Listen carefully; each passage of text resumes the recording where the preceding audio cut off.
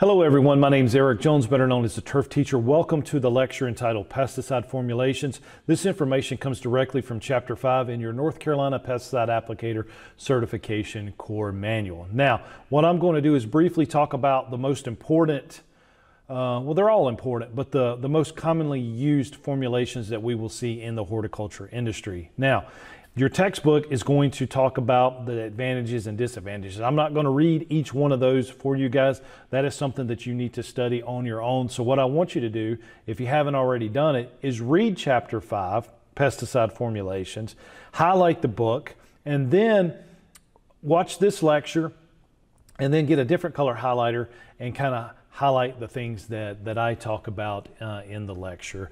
Uh, we'll try to keep this one short and sweet for you, but this is chapter five, and let's go ahead and get started with our objectives.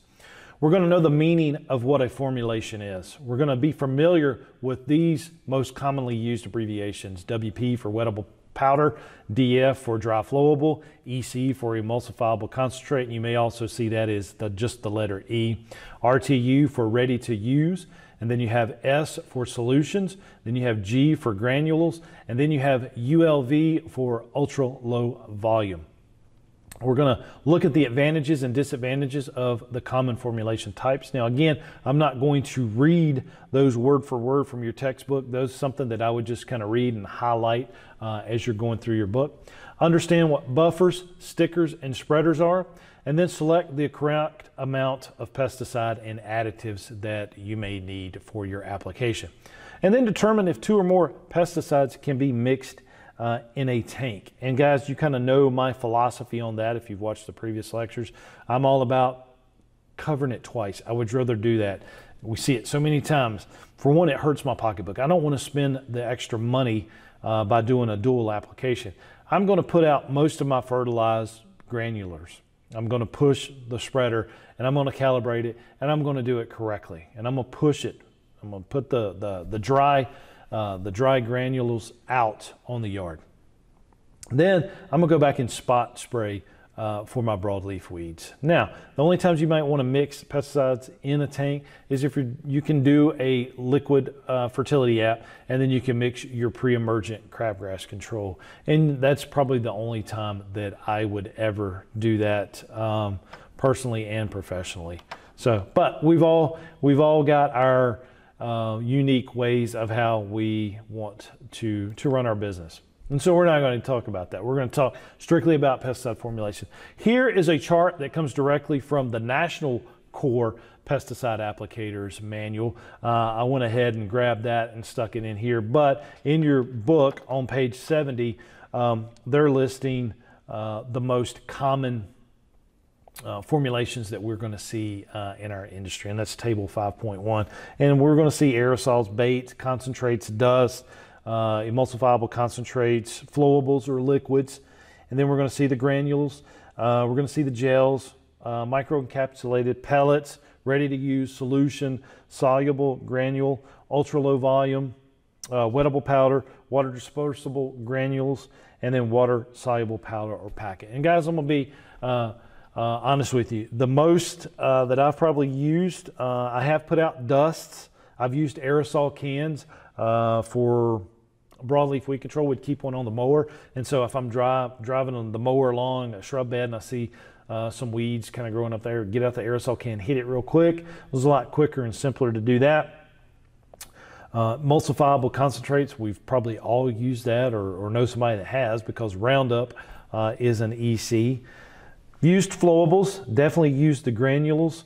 Um, used micro encapsulated, used pellets, ready to use, yes solutions, and then wettable powders I've used. The other ones, uh, possibly, but I can't remember, but those are the most common ones that I've personally used. And so let's go ahead and jump into these formulations. We have a liquid.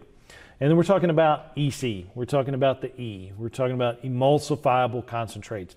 They contain a liquid active ingredient, also an emulsifier or one or more petroleum based solvents.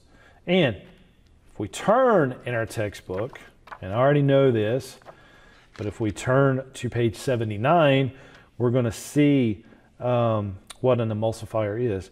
that allows petroleum based pesticides to mix with water. So it contains the emulsifier, the emulsifiable concentrate, and it allows that formulation to be mixed with that water to form an emulsion. And again, Roundup is a emulsifiable concentrate because you buy Roundup in the bottle, it looks like that, almost some diluted tea. Don't think that we can drink it, guys, but uh, you mix it with water and it's going to turn that milky white um, color there. And so pay attention to the advantages and disadvantages on page 71 in your textbook uh, about that. We have solutions, an active ingredient that will readily dissolve in a liquid carrier, water or petroleum base. And it is a true solution. It does not re require agitation before each use. So you could probably mix the tank and be okay the rest of the day. And guys, that saves time, that saves gas because you're not running the motor on the, uh, the sprayer. And you could probably put it in a backpack easily and it stays mixed up good enough. You're not having to constantly agitate or remix uh, your formulation. So it's a, it's a good product. Ready to use. Uh, or RTUs, uh, uses a low concentrate solution. And when you hear that, you're probably already thinking and seeing, seeing that spray bottle in a Windex bottle, we're thinking homeowner, we're thinking big box store. And yes, that's, that's uh, uh, a good product. Uh, we've used it, yes, uh, occasionally. Again, spot treatments. Uh, but these formulations are ready to use. There's no need to mix or dilute prior to the use. And I mean, I've even seen Roundup in ready to use uh, formulations like that. You can buy it already mixed uh, with, with water and you can spray it and put it out. Made from a small amount of the active ingredient and it is dissolved in an organic solvent. We have our ULVs or ultra low volume.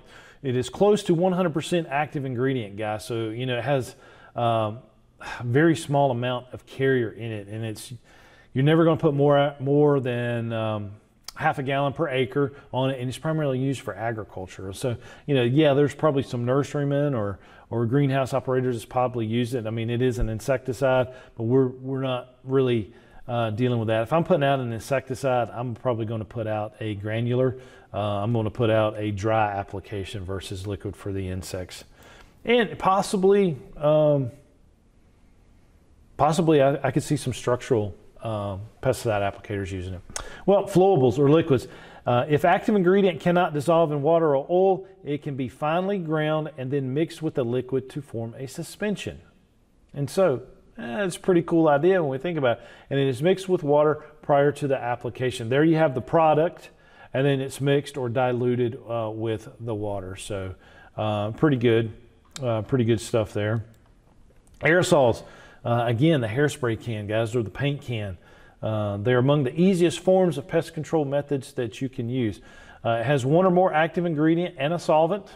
It is ready to use in the self-contained units, like the hairspray can. And then uh, you can use a smoke or fog if not under uh, pressure. Um, like I said, we've used it for broadleaf weed control. Would keep one on the mower, driving alongside a shrub bed, come to it, uh, see some weeds, pop it off, hit it, um, and even used it uh, on a site inspection. You know, going behind our crews a day later, seeing how they done it. A couple days later, you know, spot spraying here and there. It's a lot easier than pulling that hose off the truck if you've only got uh, a few weeds. So you can keep a couple cans in the truck easy or, or the backpack, but this makes it a lot easier uh, to get out and hit that one little troublesome weed that popped up. Dust.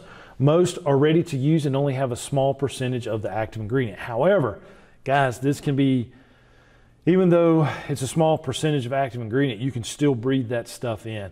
And the wind can pick this dust up and take it off site. So it can, uh, it can be uh, kind of dangerous uh, when it comes to that and used a lot probably in more of your structural um, pesticide applications and um, hmm, trying to think they're used to control lice um, so again yeah an insecticide um, but the bad thing is, guys, is breathing that stuff in. It can be very, very dangerous. Um, and it's hard to, to get an even coverage of the pesticide uh, over over the surface. So that that can be a uh, troublesome issue for you. Paste, gels, liquids, or other injectable baits, primarily used for cockroaches. And if you've seen the prior lectures in this uh, unit one, you're um, kind of freaked out when you see a cockroach now because that means one thing they've got brothers and sisters hiding in the wall they don't like hanging out with each other and they definitely don't like crawling across a cooler tile floor in the middle of the day. They like it. Uh, they like places that are damp. They like places that are dark. Uh, so running across that kitchen floor only means one thing. You've got more in them walls and kitchen cabinets than uh, you probably want to know about. Granules or granulars. I'd rather say granular instead of granules. Uh, but similar to dust, but these particles are heavier and larger uh, with the active ingredient. There is a coating um, that uh, is on the, uh, the granular there. Um, very similar to the pellets that we put out. Um, and people use those terms interchangeably, but the difference is that the pellets are uniform in shape and weight. So let's think about this. An easy way to remember this, guys. Um, you have a pellet that you want to put out well, it's going to be uniform. And so you're trying to identify it or whatever. Uh, it depends on which class you're in. You may have to identify it, you know, looking at it. Hey, is this a pellet or is it a granule? But pellets for pills, very uniform. When you take a medication, all the pills look the same, right? They come out of the same bottle. Well, granules or granulars, um, let's think of gravel. Let's think of rocks. You know, they're not uniform. They're inconsistent in their weight, but there's several thousands of gravel in a small driveway, but they're all none of them look the same. If it's pellets, they're going to look the same. So it's the easy way to remember it. P for pills and pellets, and G for granulars and gravel. SP or uh, WSP, which are your soluble powders. They look like wettable powders, but the soluble powders uh, will readily dissolve in a solution and do not need to be agitated, which makes a good thing which is a good thing. And it's kind of hard to believe that, but they uh, they dissolve in that solution and they do not need to be agitated. So um, very good for the lawn care industry. WDG or DG, water dispersible uh, granules, uh, commonly called dry flowables. Granulars are mixed with water and they break apart to form uh, a formulation similar to a wettable powder, which requires constant agitation. So you're going to be mixing it. You're going to pull up uh, to the stoplight beside a lawn care truck, and you're going to hear that sprayer running in the back. And what they're doing is they're agitating because uh, these formulations need to be constantly mixed. Almost looks like Dippin' Dots there. Scary uh, situation there when you have that stuff around children. So please tell me that you do not keep your pesticides uh, stored near animals or children. Your micro encapsulated materials. Uh, liquid or dry pesticides that are covered in a plastic microcapsule, which is mixed with water and sprayed. After spraying, the plastic coating breaks down and is, releases the active ingredient. So, uh, some cool stuff there. And they're also doing micro encapsulated fertilizers uh, and even lime. Fumigants, formulations that produce poisonous gases. Some are liquid that create gas when released, and others are solids that will create gas under high humidity. Probably not going to use this maybe in a greenhouse setting. You know, you've got to have that controlled environment. Uh, and your structural pesticide guys are going to do it probably for a uh, uh, flea uh, application that gets in the house. Adjuvants is a chemical that does not perform pesticidal activity. Basically, they are an enhancer. They can be premixed in the formulation or added to increase the effectiveness or safety of the pesticide. Now, we've added adjuvants time to, you know, from time to time. Um, but if you look on page 79, that's where they are talking about.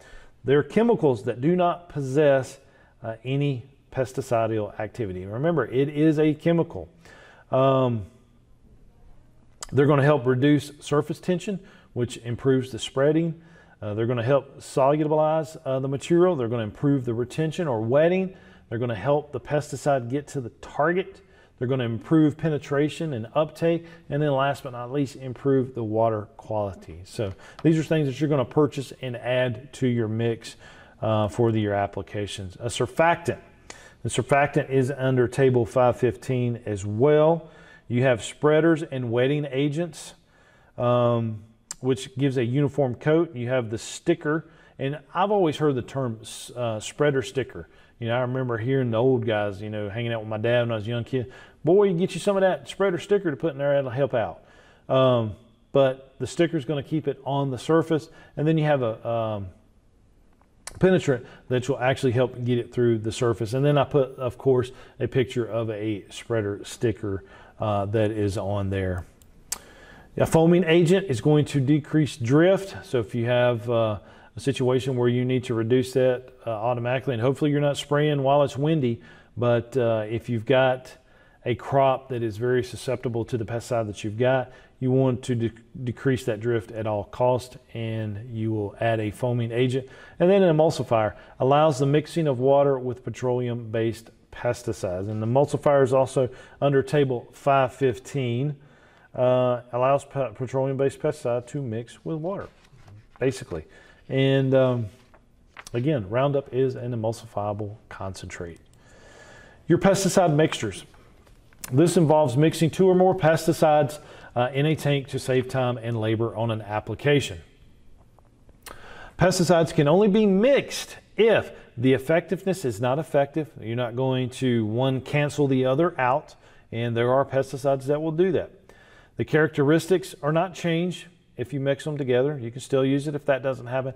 And if the damage is not uh, caused to the application site by mixing two or more of these pesticides. And again, guys, I like keeping things separate. The only time I would probably do it if I was going to put out a pre-emergent uh, fertilize um, where I would mix a liquid fertilizer application and then add in the pre-em to it. That would probably be the only time that I would mix it. I would never mix in the summertime. I would push my fertilizer out with a spreader and then go back and do spot spraying for broadleaf weed control. That hurts the pocketbook. And you have studies that say it's cheaper to mix the chemicals together than to have uh, your technician go over the site twice.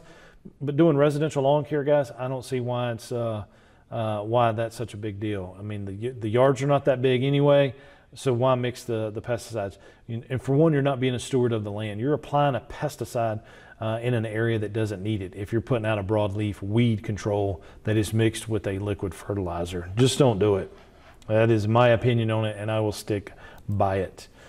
Um, do a compatibility test on the pesticides. Read the label uh, it is illegal to mix pesticides with anything prohibited by the label, so don't do it. Label is the law from the last lecture. And if not prohibited, perform a jar test. And that concludes chapter 5 again, guys. Hopefully, you read the chapter prior to listening to the lecture. And again, take my advice. When you read the chapters, take a yellow highlighter, highlight your information you think is important. And then when you're watching these lectures, get a different color highlighter and, uh, and go over it. So use the lighter one first and then maybe use an orange uh, on top of it or green that's a little bit darker and highlight the stuff that I talk about. Guys, I appreciate it and I'll see you in the next lecture.